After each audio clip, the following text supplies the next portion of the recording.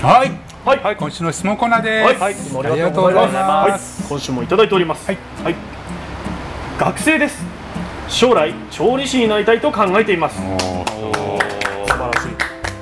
そのために学生のうちにやっておけば役立つなどということはありますか？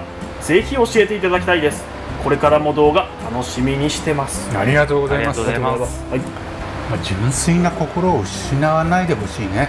少年のよう少年壮大な話とな。遊びに行っちゃう。それだけです。私が望むのは。遊びに行っちゃいますよ。ね。あとなんかねカップラーメンとかあんま食べないように。あなんかこう素材の味をね分かるように普段から心がけてください。はい。はい。はい。何学生にもよりますけど、うん。高校生とかだったらお母さんのお手伝いとかうん。したりとか、それで十分です。お袋の味をねそうですね。大切にしてください。一人暮らしだったら、まあ、自炊。うん。せないとうんおのずと何何でもできるようになると思います。ね、何かありますか？はい。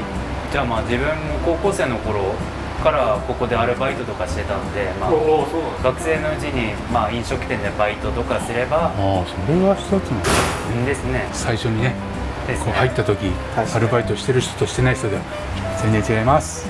やってみてください。はい。それではまた来週